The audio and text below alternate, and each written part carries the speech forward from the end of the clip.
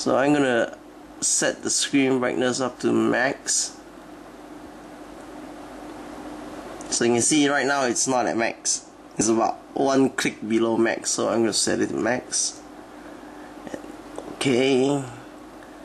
Just give it a while. See? So really it's because of this little problem that I can't recommend it because setting the, the screen at brightness, brightest actually makes it look quite good but the problem is with this flickering obviously you can't use it with maximum brightness and that pretty much just kills the usability of the device for some people. Okay so there you have it. The Mi-Store eFriend Google Android tablet and uh, no don't buy this.